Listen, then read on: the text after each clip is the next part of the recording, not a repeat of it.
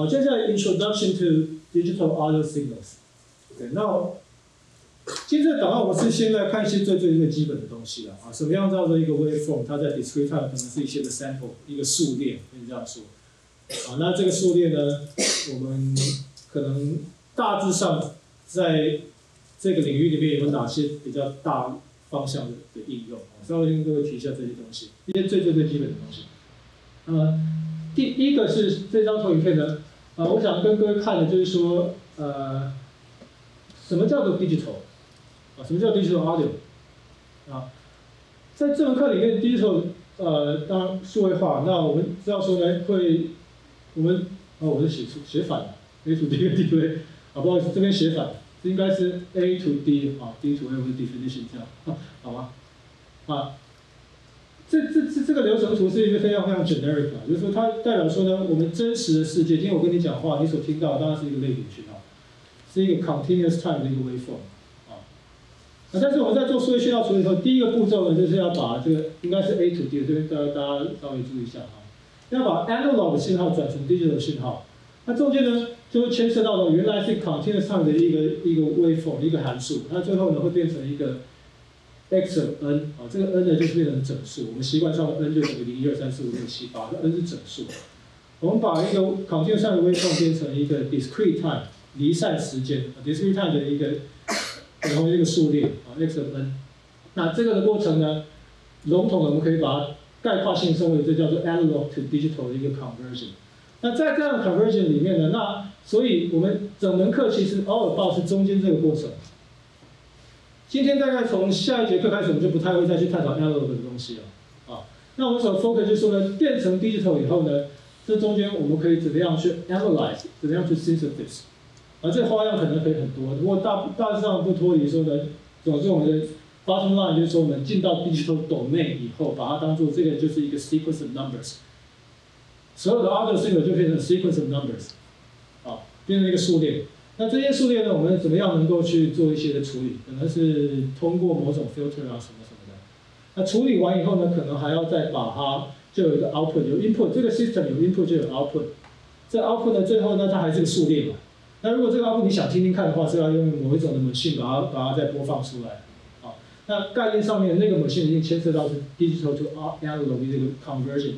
一个反过来 conversion，然后回到这个真实世界。可能再透过一个喇叭音耳机，你就听到声音了。好，那这这门课的 focus 在中间的东西。那接下来跟各位介绍一个最基本的，就是说呢，我们在做 A to D 跟 D to A conversion 的时候呢，必须要去 define 所谓的 sampling frequency、sampling rate。啊，所以这个我想是一个很基本的东西。我我们就是就 make sure 大家是什么 on the same goal。啊。所以我们先看一下最基本。所以什么叫做 sampling rate 呢？sampling 的定义就是说。啊，我们要把一个 continuous time 的 waveform 变成一个数列的时候，牵涉到说，那我们要多久去看一次这个 signal？所以 sampling 是取样啊，在我们这门课里面，取样的意思就是说，这一个 continuous waveform，比方说，可能假设我们这蓝色虚线是某一个 continuous waveform，观念上你把它想成是 continuous time 的一个一个 signal，那么我们就每隔一个固定的时间啊，就去看它一次，看它现在这个值是多高，几伏特啊。或者说几公分啊，或什么，它是可能一个一个震动的信号，啊，那就每隔多少时间呢？我们去看它一下，它的这个物理的值是多少，然后把它记录下来。这样子一个步骤叫做 sampling，我们去量出这个讯号在这个瞬间它的值是多少，这叫 sampling，好，并且呢，我们是整门课我会假设这个 sampling rate 多久看一次这个这个 sampling 的这个周期呢？两个 sample 之间的这个 time domain 的这个间隔是固定的，我会假设它是固定的。那所以，比方说，在这个例子里面，各位要看一看，如果横轴是五个毫秒，那我这里面准大家数一下有多少个 sample。好，在这我们放大看一下啊，啊，那所以说我们就说呢，这个红色的这个一根一根的，就是这蓝色的它所取样出来 sample，好吧？所以各位就可以去呃那个比较眼睛比较快的话呢，稍微看一下啊，可能在在这个五毫秒中间呢。五个 millisecond 之间，我们总共会有有四十个 sample，有四四四四十根这样的东西。那所以我们的 sampling rate，它单位可能是 hertz，就是说呢，那我们一秒钟怎么看要看多少次？啊，如果五毫秒看四十次的话，一秒钟可能看的是哦，你稍微算一下八 k hertz，啊，这是我们的 sampling rate，这样大家讲各位了解吗？所以 sampling 以及 sampling rate 是这样 define 的。好，好，那所以这个是 A to D 哦，从这个蓝色的虚线的 analog signal 转成 digital discrete time 的这个 samples。那反过来 D to A 的时候呢，我们就要把这红色的东西想办法合成，好像做内插这种感觉啊。让最后呢产生回到这个真实世的时候，它产生的 waveform 能够像这蓝色的部分啊。所以各位如果比较这个比较有创意点的，你要把那个眼睛眯一下，可能看起来有点像。近次把眼镜拔掉，看一下这红色，好像就蛮像蓝，往就溃溃看起来就像蓝色啊，好吗？这个是一个笑话，可能也是有真实的的地方嘛，因为老去 quick 的时候可能是一个 low pass filter 啊，所以其实，所以只是我们现在是把它想象的是一态啊，low pass filter 一态，其实牵涉到这个啊，你要把这些的 impulses 变成 time domain 的连圆滑的曲线的时候，啊，但是说穿那那那个地方 A to D 跟 D to A 不是我们这门课主要的仿生啊，如果各位对那有兴趣的话，可能有一些关于技术建筑设计的课程有啊，介绍有这方面专长的老师，们可以跟他们学习啊。那所以这门课呢，我们还是回到 digital domain。所以一讲到 sample，那我们一定要牵涉到要问一个问题，说呢，sampling rate 要多高才够的一个这样基本问题。哦，就以这个蓝色的这个这个讯号来讲哦，蓝色的讯号，你们觉得说这个我们要多久看一次，看才够快，才能够看得到说，当我把这 take 的时候，能够好像重现到原来的这个。曲线，好，所以这个就牵涉到说，如果我们反过来讲，如果三倍不够快的话，情况可能像这样子。三倍不够快，这蓝色的这个 signal，我每隔好久才看一次啊，红色的部分一根一根的。那这个时候，如果假设说我们在 D to A 的这端，它拿到了一个这样的一个 discrete time signal，那我们在 D to A 要合成回来的时候，最后喇叭播放出来的时候。可能那个播放器它就会觉得说，那我们来做内插，就把红色这些线比较均匀的连连起来。各位是不是可以看得出来，至少这种 by inspection 就用肉眼来看的话，用眼来观察，很多这蓝色线的那些高高低低细节的部分，是不是可能就会丧失掉？应该可以想象出来啊！我相信这这所以这个就是说，这种 problem 就是 under sampling sample 的不够快。哦，所以这个问题是个 value 的问题，就是说呢，对于任何一个 waveform，任何一个 signal。我们怎么知道要 sample 到多快才够快？好，那这个的话呢，可能各位如果有学过这个 DSP 的话，就知道这里有一个 theorem，对不对？有个 theorem 叫做说 Nyquist sampling theorem。啊，那个 sample 的 sampling rate 呢，至少要什么？要两倍于说你所的什么东西？两倍你你所有兴趣那个讯号的它的最高频率，那个频率的两倍啊以上的话呢，我们就可能在合成的时候有办法能够透过。一些手段能达到 perfect reconstruction 啊，所以这个是 Nyquist sampling theorem，这个我们也稍微 mention 一下。Nyquist theorem 是就是他这样是这样说，他说我们必须要 sample at least at two times the rate of the highest frequency of interest，所以说这也是为什么这个我们学以致用一下。你看到所谓的 CD quality 有没有？CD quality，如果各位在任何的软体里面你要储存一个音档啊，他会问你说你 sample rate 要设多少？那通通通常都会有一个选项，有一个业界公认大家公认的选项啊，这个选项大家稍微熟悉一下。这个选项是四十四点一 kilohertz，好，那这个选项怎么来的呢？就是因为人类听觉的上限，这个 highest frequency of interest 在 audio 域啊，超过就变成超音波了。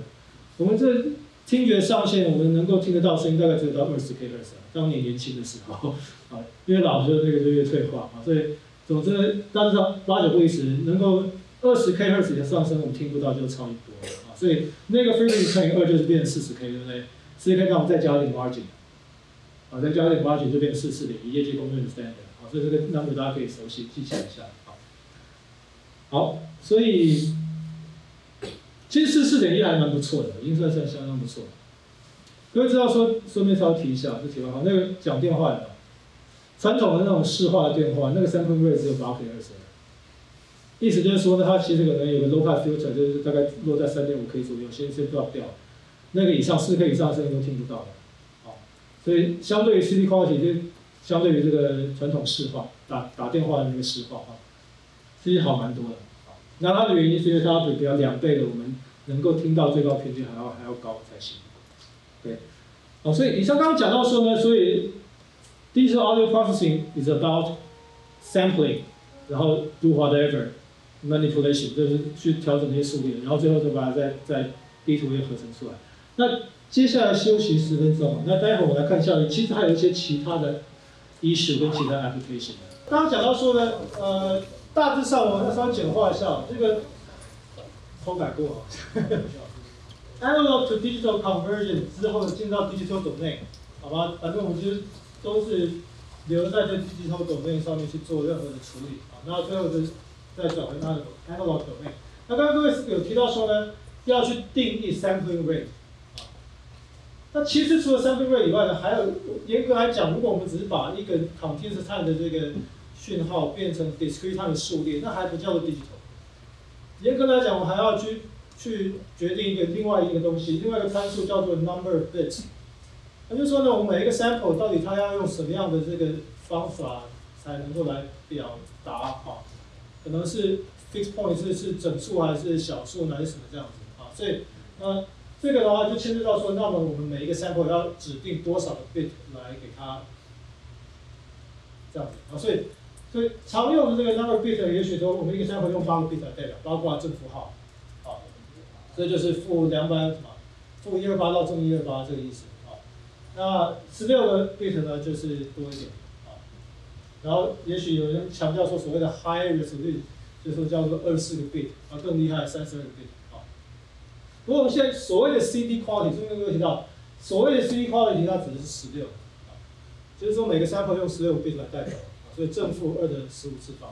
啊，是它的这个 integer 的这样一个 range。那所以接下来这张图片呢，我是直接从 MATLAB 这个 help file 里面抄出来。所以各位可以看到，在 MATLAB 里面呢，MATLAB 里面如果你去 type 这个 wave right 这个方式，这个方式常常用啊。那你去看的话，它就会以放说呢，你在 write 的时候，你你可以其实可以去定义这个 n bit。如果不定义的话，by default CD quality 是十六个 bit per sample 啊。那它的这个，因为它储存的格式是 single double，那它主要是稍微跟各位看一下，那那那里面呢，所有的音讯它都会把这最大范围，把它 normalize 叫正负一，这是它的习惯，这是它约定成熟的习惯，normalize 叫正负一。那所以我们就知道正负一号范围就是二嘛，从最大最最小值，中间如果用十六个 bit 来抵代的话，那所以每个 bit 就代表一个所谓的 quantization step，它的每个 quantization 的 step size 呢要稍微除一下二除以二的这么多次方。就是它的 quantization step，代表是什么意思呢？代表说它在这个讯号进来的时候，在每一个值它的 y 轴都有刻度的，那个刻度的大小就是这个 delta。啊，这样讲各位了解吗？啊，所以如果你原来那个讯号它是介于两个刻度之间的话，要怎么办？叫做 rounding，啊，那就往着最接近的那个刻度上面去去对齐，啊，那就是其实就是四舍五入的意思，啊，在那个刻度里面范围里面去做四舍五入，啊，那所以这个大家知道，好，那。我问大家一个问题啊，你们认为说呢几个 bit 才够？好的，我们知道 image 其实是二五六，对不对？RGB 就是二二五六嘛，对吧？default 啊，好像是这样，是吧？有没有各位有从 image 比较熟的啊？所以那是八个 bit 啊。其实对，那 audio 呢？audio 要几个 bit 才够？刚刚已经说 CD quality 是十六，十六可能够，够不够？还是说觉得应该二十四才够？为什么当初业界在制定标准的时候，这么多家公司他们说我们十六就够？啊，这个什么原因？十六代表什么意思？来，这位同学，绿衣服的，哎。因为跟二分不出来更高的，有时候是，所以到十六应该就够了。啊，所以你讲到一个重点，就是说，当然越高的话，resolution 越好，那个刻度越细，对不对？啊，每增加这个。一个 bit 叫刻度切一半，啊，那为什么是十六呢？继续问下去啊，为什么十六就够了？好，这个其实这个问题不是那么容易回答，这个其实我这个问题还蛮蛮深刻的啊。就是道这个是所谓跟大家听参考看看啊，就是说有所谓的叫做六 dB per bit per bit 这样一个 rule，大家再再听一遍，六 dB per bit 这样的一个 rule，意思就是说呢，我们在这个 A to D 的时候呢，如果我们每增加一个 bit，就能够让我们的 quantization noise，quantization 代表一个 rounding，那代表它会产生 quantization noise，啊，那这 noise 其实听得到，所以假设说我们今天如果只用八个 bit 的话，你可能会听到一些一些的 noise，啊，那所以就牵扯到那我们 signal to noise ratio 是怎么样定义的？所以所谓的六 dB per bit 意思说呢，每增加一个 bit，我们那个刻度变成一半大，意思就是 quantization noise 它的那个 power 其实是十二分之 delta 平方。啊，所以那个的 noise 它的 noise level 就下降六 dB，好吗？所以十六个 bit 总共就可以提供我们九十六个 dB 这么好的 SNR 的这个这样这样的一个 ratio，好吧？所以这个意思就是说呢，如果我们把那个能够 playback 的最大范围当做当做是音量开到满，啊，那个音量开到满到最小的那款的那些 noise 只会比那个满的声音还要小九十六个 dB，那那个已经够了，因为通常人的听力范围很吵杂，也许一百 dB。你的听力的一个阀值 threshold 可能是接近零 dB 啊，所以九十六 dB 已经是非常非常好。你只有在很罕见的情况之下才有可能听到泛泛的信号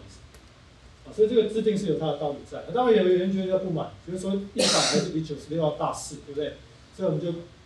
干脆再增加八个 d 八八个 bits 啊，所以那这样也是可以的。就是有所以有些所谓的比较高阶的音效卡，它就留给你这样的 option，然后可以去呃录制或者播放二十四个 bit 这样的一个 format，啊。这是其实有，所以在你的 wave write 在 NAND 里面的这些都这些 option 都可以啊，在储存的时候，我们可以把我们合成出来的声音储存成三十二个 bit 的时候，这个是可以的，但是这其实多半是浪费，所以十六通常就够。